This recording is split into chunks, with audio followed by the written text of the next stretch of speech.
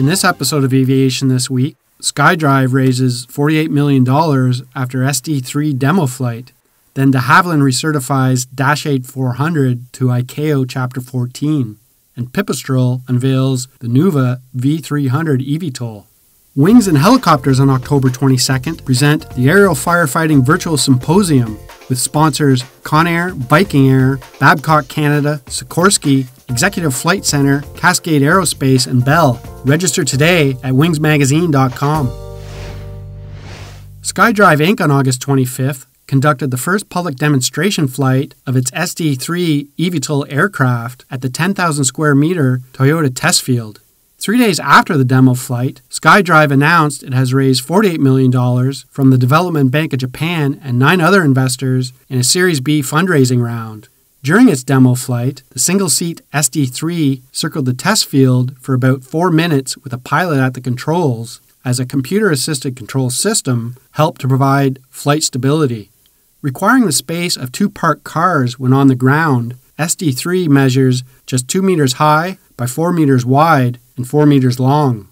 Its powertrain consists of eight electric motors driving eight rotors deployed at four locations, with each pair counter rotating. SkyDrive is seeking approval for flights outside of Toyota test field before the end of 2020. It projects the SD3 will be ready for commercialization in 2023.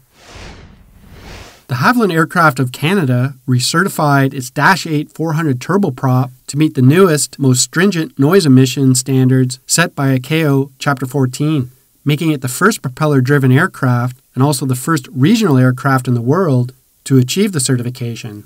With a global fleet of around 600 aircraft, the Dash 8 400 features swept, six-bladed Dowty propellers on Pratt & Whitney PW150A engines.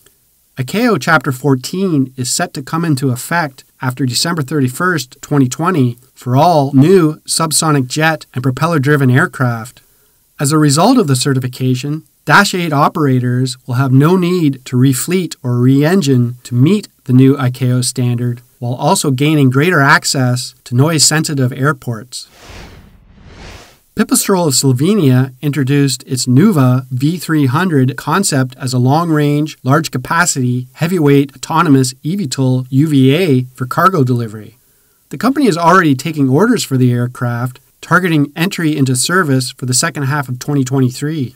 It will use eight independent battery powered Pipistrel E811 electric engines that are already type certified. The Nuuva V300 is expected initially to carry up to 460 kilograms. Pipistrel projects a 50 kilogram payload will be available for a 2,500 kilometer range, reaching altitudes as high as 8,000 feet. Its cargo compartment is being designed to accept up to three Euro pallets can be loaded with a regular forklift. A smaller Nuuva V20 model is also being developed for last mile delivery missions with a 20 kilogram payload and projected availability for 2021.